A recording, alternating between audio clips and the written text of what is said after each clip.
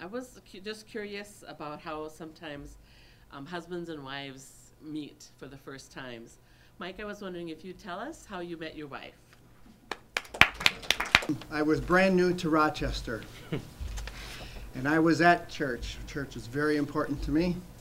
And Father says, Mike, you're going to wait for me right over there because I got to talk to you after Mass. And I waited 30 minutes for him to talk to everybody.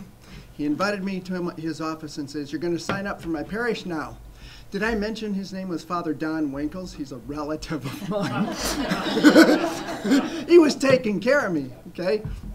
And then, after I signed all the forms and signed up for the parish, she says, I want you to go into my liturgist's office. Her name is Mary Klein.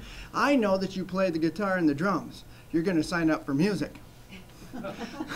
So I sat down with Mary, with Mary, and Mary says, You know, we've got a club meeting. It's a Catholic singles club, and we meet monthly, and, you know, it'd be a great thing for you to do. Come on to our house tonight. I went to her house that night and she answered the door. Now, Mary is this tall, okay?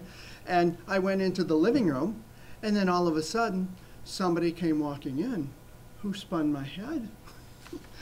and, hi, my name's Kathy. And I was like,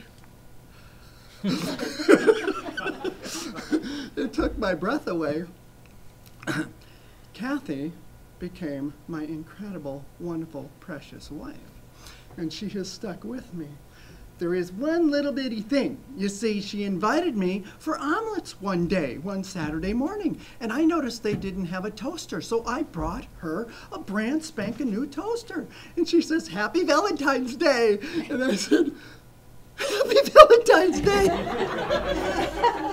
and she says to my kids now, never give a toaster for Valentine's Day.